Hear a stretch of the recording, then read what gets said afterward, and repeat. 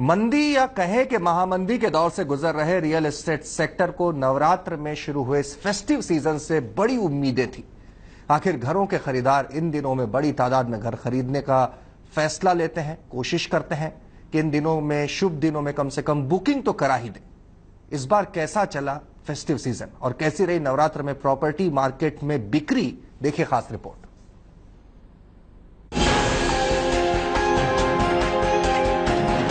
क्या नवरात्र ने डेवलपर्स को किया निराश? क्या घर देखने पहुँचे खरीदारों को स्कीम्स ने लुभाया?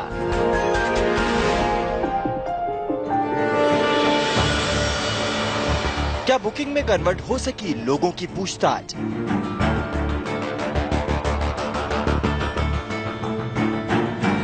क्या फेस्टिव सीज़न बदलेगा रियल एस्टेट की रंगत? नवरात्र और फिर दिवाली तक फेस्टिव सीज़न त्योहारों के इस मौसम का इंतज़ार सबसे ज़्यादा रियल एस्टेट इंडस्ट्री करती है। ये इंतज़ार इस बार भी था। प्रॉपर्टी बेचने के लिए कड़ी मशक्कत कर रहे डेवलपर्स को उम्मीद थी कि इस बार ग्राहक बड़ी तादाद में घर खरीदने के लिए इस मार्केट का रुख करेंगे।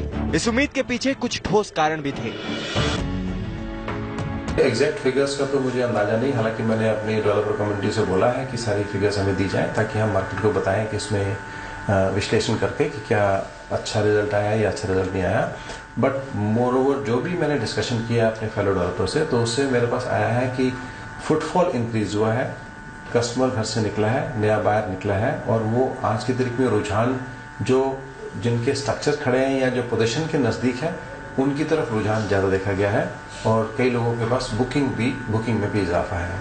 नंबर का आंकड़ा तो अभी नहीं है but more less on an average कह सकता हूँ कि पाँच से दस परसेंट इंक्रीज हुआ है सेल्स में only only during this Navratra days but वो उससे चिंतित है कि अगर मैं अपने इस प्रोजेक्ट में निवेश करता हूँ, अपनी सारी पूंजी लगाता हूँ, एक घर का सपना जो मैंने संजोग रखा है, संजोया हुआ है और उसको सार्थक करता हूँ तो क्या मैं इस घर में जो पीरियड है वो शिफ्ट हो जाऊँगा कि नहीं हो जाऊँगा?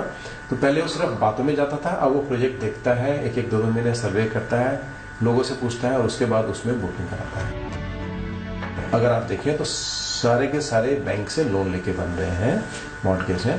तो बैंक इंश्योर करते हैं कि कोई भी नेक्स्ट इंस्टॉलमेंट रिलीज़ करने से पहले कि आपकी सारी जितनी भी मिनिमम रिक्वायरमेंट है नेक्स्ट माइलस्टोन को पार करने के लिए वो सारी कंप्लीट है कि नहीं है? अगर आप पोजिशन देने जा रहे हैं तो सीसी किस स्टेज पे है? क्या क्या फॉर्मेलिटी पूरी हो गई है?